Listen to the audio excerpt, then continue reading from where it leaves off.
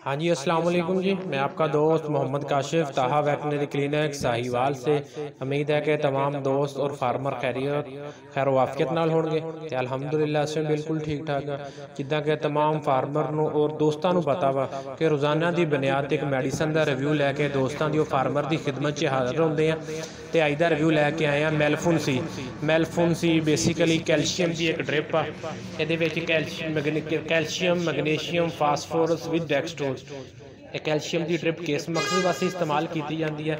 ਜਾਨਵਰ ਜਦੋਂ ਤਾਜ਼ਾ ਸੁੰਦਾ ਵਾ ਬਾਜ਼ਕਾਤ ਫਾਰਮਰ ਜਾਨਵਰ ਦੇ ਮੁਕੰਮਲ ਥਣ ਖਾਲੀ ਕਰ ਦਿੰਦੇ ਆ।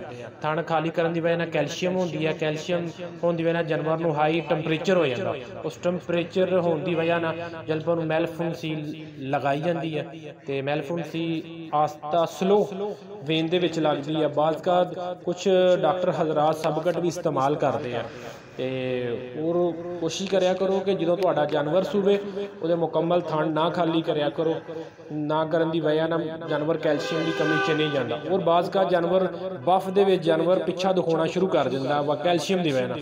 ਉਸ ਮਕਸਦ ਵਾਸਤੇ ਵੀ ਮੈਲਫੁੰਸੀ ਇਸਤੇਮਾਲ ਕੀਤੀ ਜਾਂਦੀ ਹੈ।